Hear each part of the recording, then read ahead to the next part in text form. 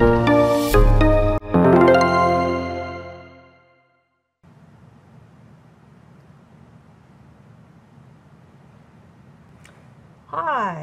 this is News and Views. Thank you for joining us. My name is Renee Ing, and today um, we have a show that's very important for all of us because it's about food security, having healthy food and food security.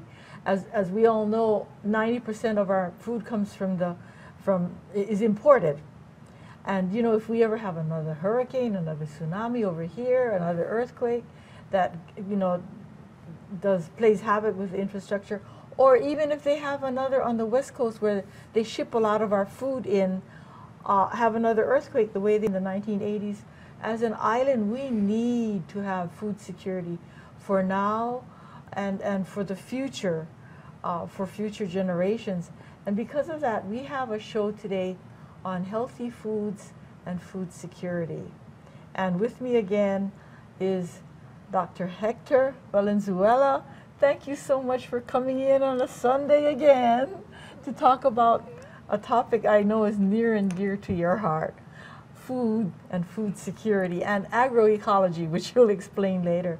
So, anyway, you know, before um, we start, can you give the audience uh, a short introduction of yourself um, before we start the show? Yeah. Thanks, Renee, and th thank you for ha having me again in the show. Mm -hmm. uh, I'm a, a, professor at uh, UH Manoa, Manoa, the College of Agriculture, mm -hmm. and I uh, develop educational programs uh, to help uh, local uh, crop production. As well as to develop educational programs on organic and sustainable agricultural systems. Mm-hmm. Great, all stuff we really need here. And, and today's show about healthy food, part two, is about food security. And um, the governor has said that he would like the state to be, to have food security, to know that we have all the food that we need being grown here by the year 2030. And um, to introduce that topic, maybe we should talk a little about last month's show, which is was about GMOs and um, how it affected the food security and the healthy food situation condition here. So Hawaii, what we are experiencing in Hawaii is a reflection of what many communities all over the world are experiencing. Mm-hmm. And uh, there's two angles that they're looking at. One of them is how can we prepare for the future to feed ourselves? And the other angle is climate change is coming mm-hmm. up. Uh, so how are we going to manage our land or agricultural systems and be able to survive uh, despite uh, climate change? Mm-hmm. Uh, last year we had a, a, a couple of shows in, in, with your program, mm-hmm. and the first one was an introduction to organic farming, which where we covered some of the basics: what is organic farming, uh, how do you become certified, and so mm-hmm. on. And the second show we talked about GMOs, right. Uh, and we talked about it, I think, because back in the 90s, leaders in our state said, uh, this is the future of agriculture in Hawaii. Uh, so now we're kind of re revisiting the whole issue because it was almost like a bridge uh, to nowhere mm -hmm. and saying there were some concerns about GMOs. And there's an international consensus saying we should look at alternative farming systems such mm -hmm. as mm-hmm. organics or agroecology. So if we could just briefly um, cover some of the what we discussed about. Mm -hmm. so just as a review, these are some of the concerns based on studies on animals showing mm -hmm. that there's problems, health effect, adverse effects mm -hmm. on some of the organs of the body, mm -hmm. uh, such as the digestive system. The liver, the pancreas, mm -hmm. the kidneys, and the blood. Uh, while these studies are not conclusive, they raise a red flag saying, you know, we should look at this more carefully before we continue to consume these products as a, as a, as a community. Mm-hmm. And, and, there's also a concern about the pesticides that are used as part of the production of GMOs. Uh, so the, the following slide also shows that with respect to pesticides, there's also a range of concerns. Uh, uh, if we are exposed to them on the farm mm-hmm. or uh, if we consume, if there are residues in the food that we are mm-hmm. consuming. Oh, right, right. Uh, so just in the slide here is just uh, the example of Roundup. uh, which is used extensively with genetically modified crops, as we talked last time. Uh, so with Roundup, some of the research shows uh, problems with uh, potential birth defects, uh, the death of the embryo or the fetus, uh, problems with the lung, the kidney, uh, skeletal malformations, and more recently, there's been uh, the United Nations made a, a conclusive uh, evidence of uh, problems with po- possible ca- ca- carcinogenicity, uh, problems with cancer.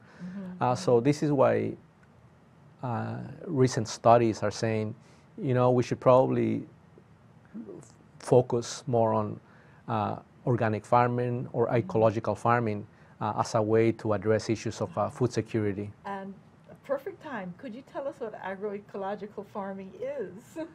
Uh, so agroecology is a, is a concept that uh, bases it, its knowledge on indigenous knowledge uh, from traditional cultures like Hawaiians, how they farm for 2,000 years, uh, the Mayas, uh, the indigenous cultures in Africa, Latin America, and they merge modern science uh, such as ecology, agronomy, horticulture, and the social sciences to develop uh, uh, a system of agriculture based on basic principles uh, to develop healthy production systems. Uh, so, organic farming is uh, a- a way of farming ecologically, uh, and so it is part of uh, agroecology as well. And you were talking about the 2017 UN study and 20, 2008 UN studies that were showing, um, well, you can explain. So there's scientists that are getting together and saying, how can we continue to produce uh, food? Uh, with dealing with climate change and food security. Uh, so the rec- most recent study was the uh, report from the United Nations, uh, a report on the right to food, and this report is saying, yes, we should consider alternative methods of farming, agro- agroecology, uh, and they are with the current techniques that we have, we are able to produce sufficient food uh, to feed ourselves without hurting the environment. And the re- and basically have food security, handle the food security issue. Uh, we don't need the GMOs, which some GMO um, advocates were claiming before that we had to have it. right. And the problem of GMOs includes that it's based on large-scale monocultures, which really damage biodiversity. Uh, that it is based on high input farming, and that means you have to purchase a lot of inputs based on uh, f- fossil fuels. You have to purchase Pesticides. pesticides, chemical fertilizers. So basically, small farmers especially become indebted. To they have to make a lot of purchases, uh, so they have to get a lot of loans, and on top of that, you have the uh, environmental issues of pollution, polluting the environment, and then the health issues on top of that. Yes, I remember all of this in, in, in my college days. They were saying that um, th- this, these, this new way of farming was absolutely necessary to feed the world. And what the UN is showing now is that no, they are not. Anyway, maybe we could move to the, our, our first topic, which was um, uh, the victory gardens uh, of World War II. At one time, um, the whole of the United States was very uh, focused on creating food because of the war situation. And in Hawaii, um, because we're an island and with all the vulnerabilities of being on an island so far away from everyone, uh, we also created an incredibly effective agricultural system here. Um, could you tell us about that? Right. So uh, it, it seems like uh, there's been a call in Hawaii for us to become sustainable for, for many, many years. Like the community has been saying, we need to feed ourselves, we need to take care of our land and protect it for the future. And, and the governor, Governor Ige, uh, about a year and a half ago, made a goal for the state to double its food production uh, by the year 2020 or 2030. Uh, but a year and a half later, we haven't seen a lot of real concrete steps. Uh, so some people have said, why don't we follow the approach of Victory Gardens? And Victory Gardens, both during World War One and World War Two, the community got together and said, we as a community are going to start and get engaged in local food production. And it was a, a very strong movement on a, from a community standpoint, in, and it was very effective. Uh, nationally in the United States, uh, about 20 million families uh, got involved, and at one point, uh, the country was producing about 45% of the food consumed locally. Uh, so we did the same thing In. Victory Gardens. Yeah, with the Victory Wow. Gardens. and in Hawaii, we did the same. Uh-huh. Uh, so within a few years, we doubled the production of some crops like potatoes, beans, lettuce, taro. So uh, in Hawaii, we were able to engage uh, a lot of agencies within the state. Mm-hmm. Were able to get together and say, how can we start to produce our own food within a couple of years? Mm-hmm. And in this slide here, we see uh, a- an, an example of the uh, uh, Victory Garden at, uh, uh, in, in Hawaii. Mm-hmm, Uh, so On Kauai. in Uh-huh. Hawaii, in McKinley. Oh, in this, Hawaii. This is McKinley High School Oh, here, McKinley here in High Oahu. School. right, right. Uh, Oh. So there's a call of saying, why cannot we again go back to a to get everybody together, Mm-hmm. uh, the Department of Agriculture, the College of Agriculture, uh, because at the time we started to produce a lot of real practical information Mm-hmm. uh, that we have engaged, f- learned from the early 19, uh, 1900s about how to farm, and we put it on paper. This, this is the proper way to do it. Uh, so this next slide is just an example of one of the many publications that we came up with, practical information to help gardeners, farmers to be more effective at uh, uh, local production. Uh, one interesting angle is that, uh, so this is Home a gardening in home Hawaii. garden in Hawaii. It's about 150 pages mm-hmm. with real practical information. How do you grow mm-hmm. tomatoes? How do you grow taro and so on mm-hmm. uh, to help the community? So it's interesting that at first the military tried to let's put up plantation style, large scale farm for growing food. And those programs really weren't effective. So they realized we really need to go small scale. We got to get at the garden level, at the small farm scale. And those farm small scale approaches were a lot more effective uh, to produce to increase production within a couple of years in Hawaii. And this is the Department of Agriculture and the UH Department of Agriculture um, working together. Right, right. So I, I uh-huh. imagine that there was many agencies in, in Hawaii. So everybody pretty much got together and say, how can we develop local food production programs? uh, So people reminisce and say, we can, we have done it before, and we can do it again.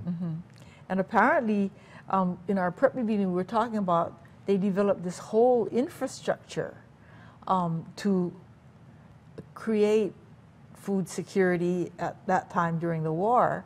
Uh, Could you could you talk about that triad, or what do you call it, triangle?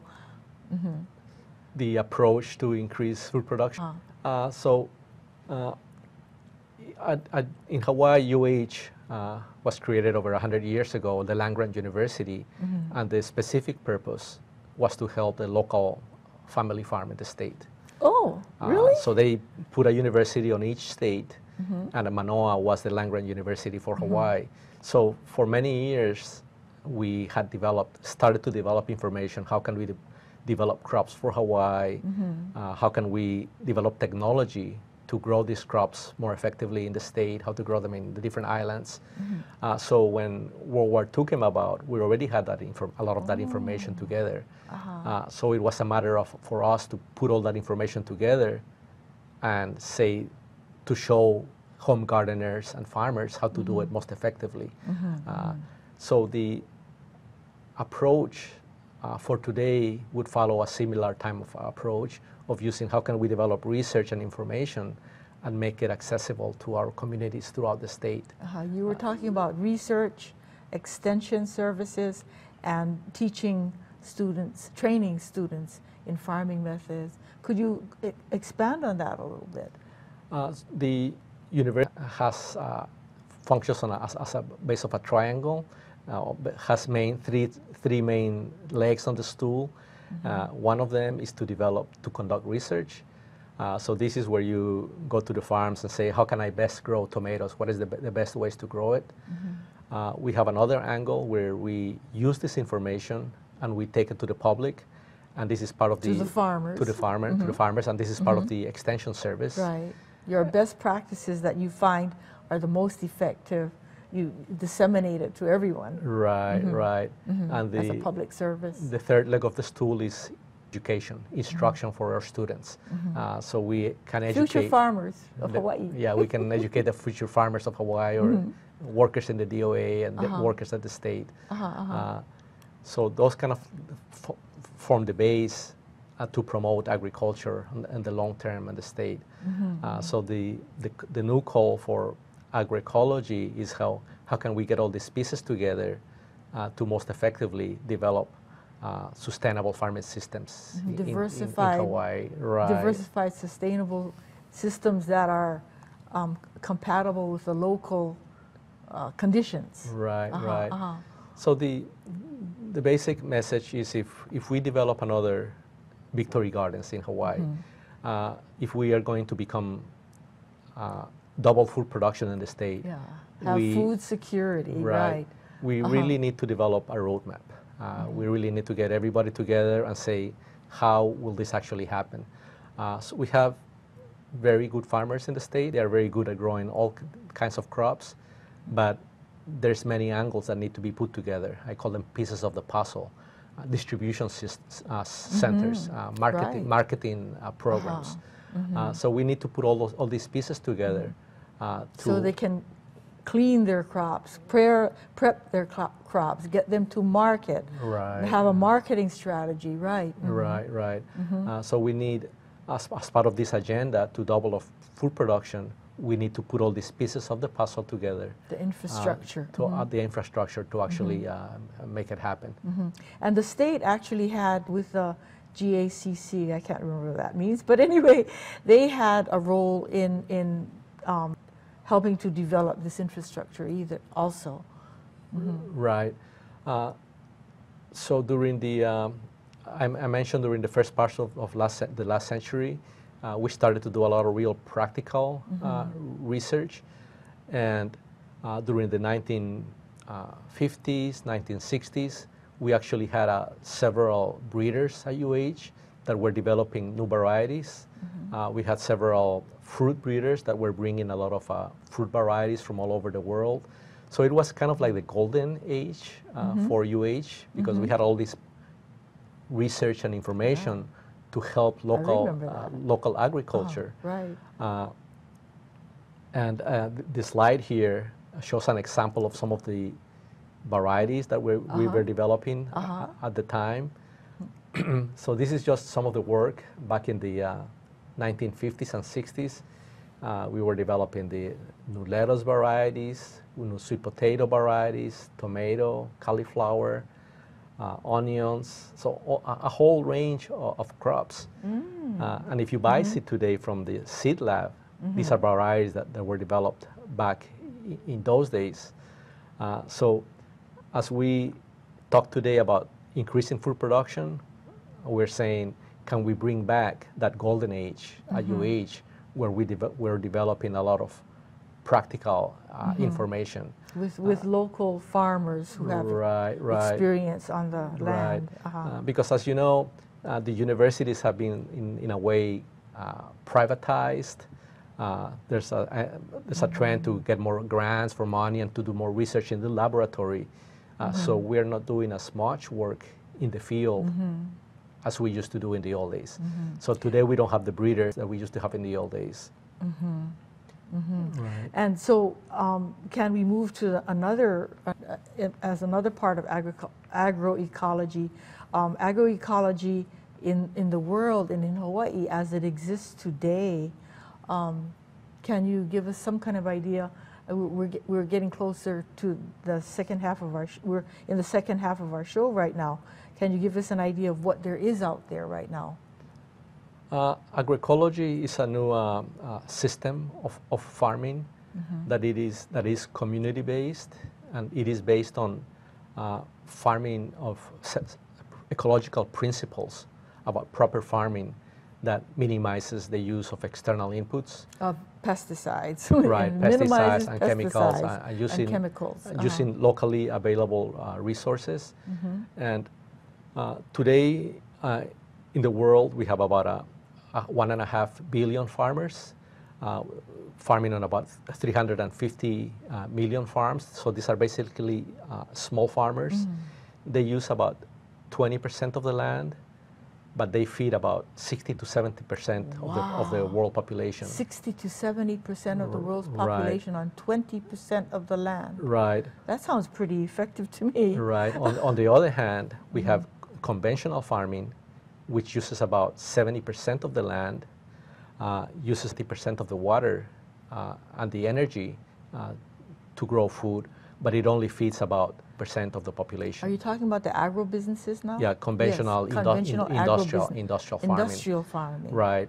So the concept of agroecology is to help these small farmers, which don't have a, a lot of resources available, mm-hmm. using ecological principles uh, and indigenous knowledge to improve their production systems. Mm-hmm. Uh, agroecology has been around for about 35 years, and it has shown to be very effective and to increase productivity of mm-hmm. small farms without relying on these uh, external inputs. Mm-hmm. Uh, so this is why there's these uh, large scientific panels that have come together and say we need to develop resilient systems that can withstand the effects of uh, climate change, mm-hmm. just as we saw recently in Kauai, rainfall, droughts that we have experienced over the mm-hmm. past 15 years in Hawaii small scale farms mm-hmm. that follow agroecological, agroecological principles are a lot more resilient mm-hmm. and able to withstand this type of mm-hmm. environmental impacts. So, can we move now to the practical issues that um, need to be addressed in order to move to a more resilient, more effective, and um, probably more productive way of farming? Uh, so the the more practical issues go along the lines of the Victory Garden issue. How can mm-hmm. we actually make it work? Mm-hmm. Uh, so we have a whole new generation of young people that are really interested in the environment. That's great. They're interested in farming. Mm-hmm, they're really mm-hmm. into organics and mm-hmm. nutrition, healthy mm-hmm. food. Right. And even about spiritual issues mm-hmm. like lying with the with the earth, with the land. And there's also a resurgence of indigenous values, the indigenous culture.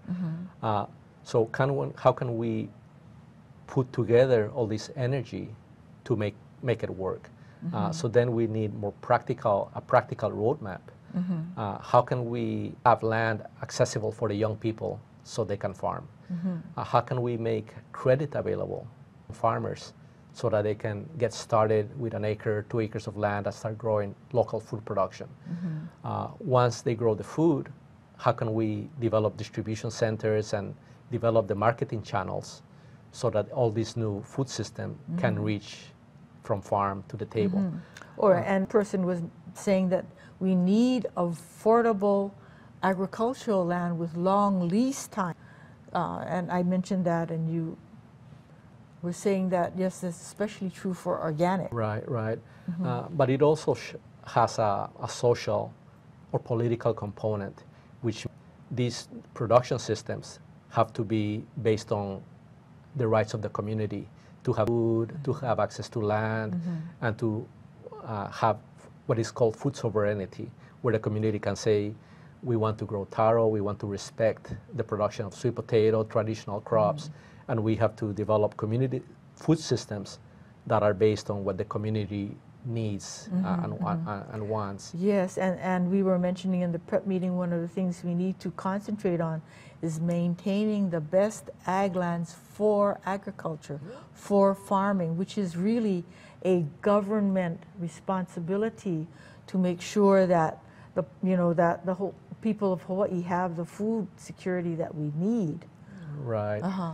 Uh, so today in Hawaii we're working within a framework of uh, many interests. We, we have the developers, we have the land mm-hmm. plantation owners, the land, mm-hmm. land landowners. Mm-hmm. So as we envision new agricultural systems in Hawaii, is can we break the mold of the all boys network mm-hmm. to start to make land available and agricultural systems that are really truly owned by the community. Mm-hmm. Uh, so it's a it's a difficult challenge. Yes, it is. But right. you were saying uh, just a few minutes ago that we have very experienced people here that we can begin to um, get together uh, to develop this strategy. Could you expand on that, please?